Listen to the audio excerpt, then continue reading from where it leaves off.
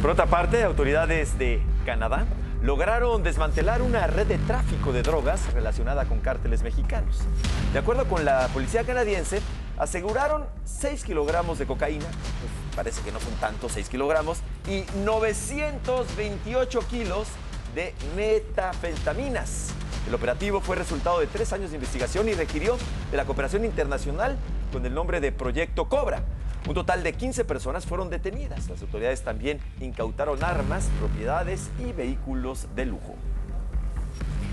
La Fiscalía General de la República informó que la falta de combustible provocó el desplome de un helicóptero de la Secretaría de Marina. ¿Se acuerdan? Fue el helicóptero que apoyó en la recaptura de Rafael Caro Quintero. Detalló que de acuerdo a las investigaciones realizadas, de hecho esta fue la versión inicial, eh, de acuerdo a estas investigaciones que hicieron con apoyo de expertos internacionales, se determinó que no hubo ningún ataque externo ni explosión y que el análisis de la caja negra determinó la falta de combustible como causa de la caída. El 15 de julio, un helicóptero de la CEMAR se desplomó cerca del aeropuerto de Los Mochis, Sinaloa, con un saldo de 14 marinos fallecidos y uno lesionado. A ver, ok, se cayó porque no tenía gasolina, pero ¿por qué no tenía gasolina?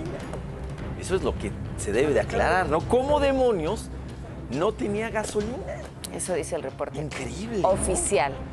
Increíble, la basta difícil de creer.